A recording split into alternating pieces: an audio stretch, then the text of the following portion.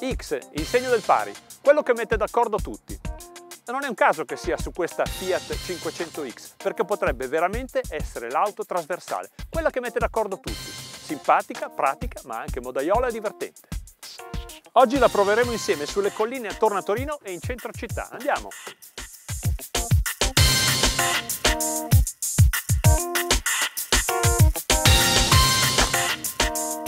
La storia di questo modello oramai è ben conosciuta, è una crossover lunga 4,25 m che nasce in Italia, nello stabilimento di Melfi, in Basilicata. È quasi un parto gemellare con la Jeep Renegade che tra parentesi proveremo a fondo nel prossimo numero di quattro ruote, con la quale condivide lo stabilimento e il progetto comune. Però anche se nascono da questo progetto comune, in realtà ci sono tantissime differenze che fanno della 500X una Fiat a pieno titolo. È elegante nella linea ma anche dinamica e sportiva e colpisce in particolar modo il posteriore spiovente, non troppo verticale, con un bel portellone a tutta larghezza per il carico. La capacità dichiarata è di 350 litri, compreso il doppio fondo. E il muso poi è quanto di più 500 si possa immaginare, con gli oramai famosi baffi che hanno contribuito a creare un'identità fortissima, quasi una marca a sé stante all'interno del brand Fiat. Tra l'altro la 500X sarà una vera world car, visto che verrà venduta in più di 100 paesi al mondo, compresi gli Stati Uniti. Il motore che stiamo guidando è il Multijet da 2 litri e 140 cavalli, un motore che ha carattere, un motore che si fa sentire un po' su questa salita quando vengono innestate le marce basse. A proposito di marce, la macchina ha il cambio a 9 marce ZF automatico con un software completamente rivisto e finalmente ha trovato una sua giusta dimensione. Non ha salti marcia, non ha bruschi passaggi di rapporto da una parte all'altra e nel kickdown è prontissimo. Oltre ad essere un buon automatico, è anche un buon cambio che si può utilizzare in modalità manuale e questa volta ci sono le palette dietro al volante per una guida ancora più sportiva.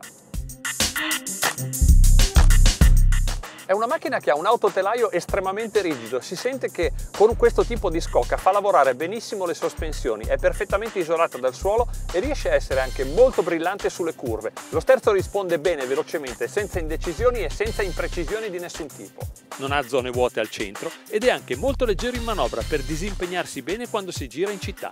Ma anche guidarla in collina, sulle strade con tante curve, è un vero piacere. I cambi di direzione sono rapidi e veloci. Sotto questo aspetto, come detto all'inizio, la la 500X concilia davvero i gusti di tutti, quelli che vogliono una crossover da città con la guida alta e dominante e quelli che non disdegnano qualche escursione in fuoristrada, visto che la trasmissione è di primo ordine e si può scegliere il tipo di terreno in funzione delle necessità. È davvero bella la sensazione di compattezza di questa macchina, si sente che fa lavorare molto bene le ruote e che sono alte, che garantiscono anche un'escursione importante della sospensione. È un assetto intermedio fra morbido e rigido, ma si sente che lo sterzo lavora bene sulle ruote anteriori.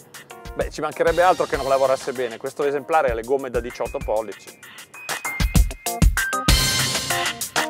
Quello che si percepisce di più però guidando la macchina è la sensazione di qualità la costruzione è veramente accurata, i materiali sono piacevolissimi, per esempio questo della plancia è un materiale goffrato e morbido che è veramente piacevole da toccare. E un po' tutti i dettagli, le ricoperture, le verniciature sono veramente fatte a regola d'arte.